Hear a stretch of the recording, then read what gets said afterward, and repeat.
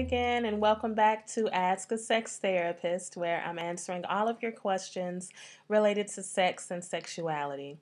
This week's question deals again with masturbation, and just to paraphrase it, it asks Can masturbation make you a selfish lover? And the answer is no, but I think it's important to think about context as well.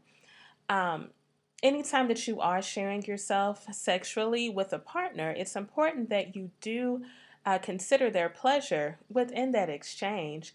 Uh, when you're masturbating, you have the freedom and the liberty to just focus on yourself and enjoy um, the sensations of what's going on for yourself. However, when you are sharing with someone, you are sharing. And it's important that their pleasure is important to you as well.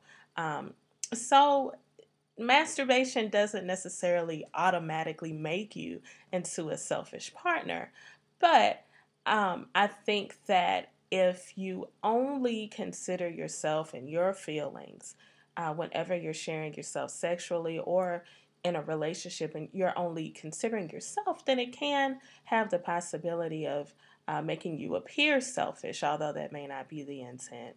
So, again, no, masturbation does not have the potential to make you into a selfish lover. I think um, actually it can uh, help you be a better lover because you understand how your body works and what feels good to you. However, whenever you are sharing yourself sexually with a partner, it's important that you hold their uh, pleasure as a high priority.